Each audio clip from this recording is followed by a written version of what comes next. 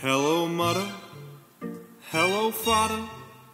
It's your good son, Maatta. Playing hockey is entertaining. And I'm passing in the pros, so who's complaining? There are Russians, Canada Frenches. They thought this Finn would warm the benches. I am 19, and it's crazy. I scored a goal before I've scored once with a lady. I am living with my friend Jussi. At his house curfew is loosey goosey. We have dinner when we're able. But the only thing he serves is baked potatoes. I play defense with Scuderi and Letang so good it's scary.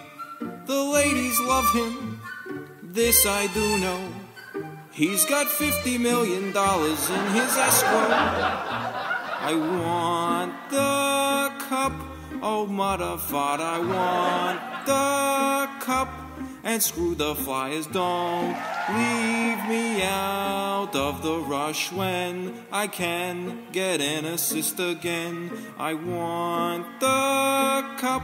I promised Mr. Mario that my contract was worth the dough. Oh, please don't send me down. Wilkes-Barre is such a crappy town.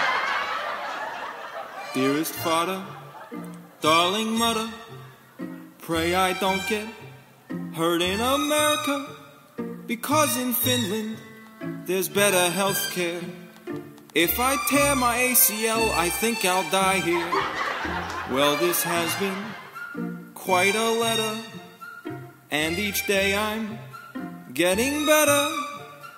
As a rookie, my next quandary do I wash Malkin's car or fold Sid Crosby's laundry?